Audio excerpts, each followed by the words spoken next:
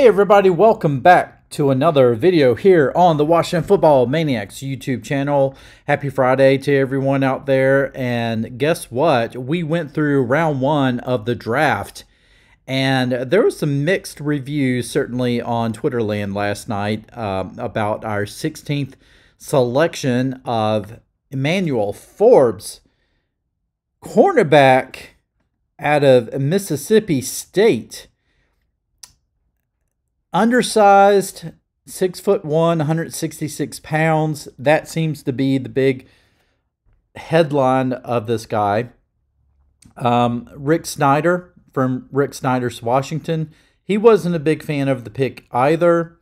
Um, some fans loved it, some fans didn't. And for me, I mean, I'm I'm always in a well, let's wait and see what happens because obviously at the end of the day, it comes down to seeing what these guys do on the field. Um, I, you know, the first thing that come to my mind was Darrell Green, and I know that's a very ambitious um, comparison, but Darrell Green was too small, um, come from small schools, all this stuff. So, you know, it's like there was so much against Darrell Green, right? Yet Darrell Green had a Hall of Fame career. And this guy has I mean, yeah, he, he's he's thin, but he's durable. I mean, he he's played every single game. He didn't miss any games. Um, now, some will argue that a lot of his highlight reel comes off of bad passes and things like that. But um, from what I'm understanding, he was pretty much a shutdown cornerback. Um, so, this article from Oliver Hodgkinson says uh, Manuel Forbes solidified its place in college football folklore when he set the NCAA record for interceptions returned for touchdowns during his final season with Mississippi State. An underrated cornerback prospect ahead of that cap- campaign, Forbes' scouting report showcases genuine NFL potential, but with one significant question looming ahead of the 2023 NFL Draft. A former wide receiver and cornerback of Grenada, uh, I'm sorry, uh, Grenada High School, Forbes tallied eight interceptions with two returned for touchdowns in senior season alone. Although he started low on some recruiting sites, Forbes ended his high school career as a four star prospect and the 13th cornerback in the 2020 class. Uh, now, his if we skip down here um, to his strengths at six foot, which I think the official is six foot one, um, 166 pounds, Forbes might not have the most physically imposing frame in the 2023 NFL draft class. In fact, the Mississippi State cornerback is historically lightweight at that position. Nevertheless, he possesses a decent height and actually measured in slightly above his listed height. Yeah, six foot one. Forbes often uh, oftentimes showcases that he can be more physical than his slender frame would suggest. Now, I did see that in highlights. Mississippi State cornerback has been able to contend, uh, contend at the catch point against even the most well put together wide receivers that he's faced in his college football. Um, and you know he has played in the SEC, so that's that's about as close to the NFL as you can get in college football. He's aided in his ability by two key components of his scouting reports. Clear from studying tape that Forbes is blessed with impressive arm length, and it's quantified that that with his 32 and a quarter measurement at the combine. Length. This length has multiple benefits. Um, talks about the catch point and all that. Um, so of course, he's a he's a former wide receiver, so he appears to possess a good understanding of route concepts. Um, so it combines intelligence, athleticism, um, and his devastating ability to undercut the pass. Um, showcases an excellent ball tracking ability to make a play on the ball. All right, areas of improvement. While Forbes has an impressive scouting report, uh, there are areas of improvement. Um, let's see. Uh, in, there were several examples of missed tackles while working in space. There was a, a combination of issues ranging from incorrect angles, missed timing of tackle, uh, and uh, some suboptimal techniques demonstrated. Some of these things can be corrected in camp.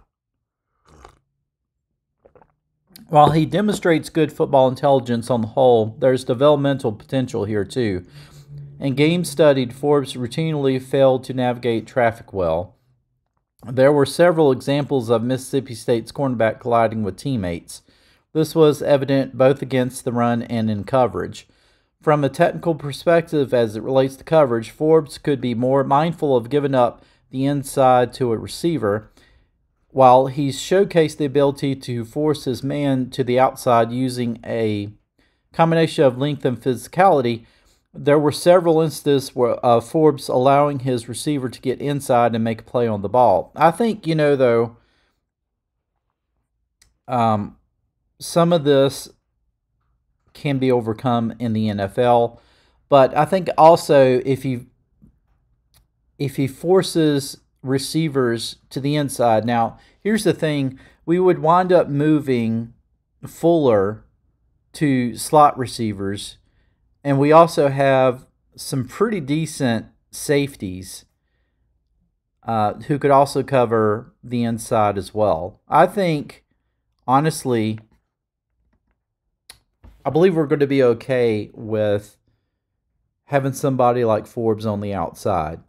And while there were certainly you know, I, I spoke about having the best player available. There, there were other people in the comment section who said that's not always the case, and this may be one of those situations where maybe it wasn't, you know, Forbes probably wasn't the best player available, but it was one of those things where he was the best cornerback, and it was maybe it was okay to pick him at that point.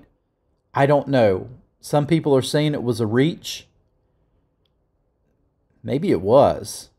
Um, certainly, I was really hoping that Robinson would continue to slide, but the Falcons picked up Robinson. I was thankful that he didn't fall to the Eagles. I really thought the Eagles were going to get him. You know, when the Eagles moved up, I was like, up, oh, see, the Eagles are going to get Robinson for sure. And the Falcons grabbed him. So I was like, oh, at least he's going to the Falcons. That I can handle. He's not going to be in the NFC East. I can handle that. Um, but I, I will say the upsides to this this pick is the fact that hopefully now we can solidify the secondary. I think the secondary being completely solid, having two corners, having Forbes on the outside and having St-Juste on the other outside, and then being able to move Fuller to the slot, and then having Curl and um, Forrest. You know, for the safety positions, I think we're really solid in the secondary, and then of course, you know what we have up front on the line there. The only area that I think that we're still kind of sort of questioning how it's going to come about linebacker. But I think the defense is pretty solid. Excuse me. So really the questions and this this can be a day 2 answer. Obviously, there's still a lot of really good picks out there for day 2, but you know, we still should be able to pick up a tight end. We still need to be able to pick up some good quality depth on the offensive line. I think there's some good players that we can pick up in you know, the second, third round. So I'm not I'm not too terrible terribly against this pick. Um, would have been a pick I would have had. I don't know. But to have somebody who could potentially be a shutdown corner, does his size scare me a little bit? Fred Smoot was a was a little guy too. And Fred Smoot was a baller. Darrell Green was little. And I got to witness his entire career. So, you know, Darrell Green went against a lot of Hall of Famers in his day. And, um, you know, Fred Smoot went against some some excellent Hall of Famers and and some excellent wide receivers.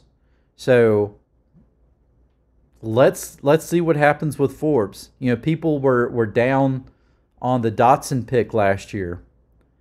I don't think that they're as down on him after seeing him play. So let me know in the comments what you think. Um, I'm indifferent. I'm in a wait and see mode. So I'm not a rah rah, hey, this was a fabulous pick, but I'm not down on it either. So um, let's see what happens, folks. Okay. Let me know in the comments what you think. If you enjoyed this video, please give it a like. Uh, share it with your friends. In that case, also subscribe to this channel, please. I will see you in the next one. Hey, you stayed until the very end. Thank you so much. Watch another one right now.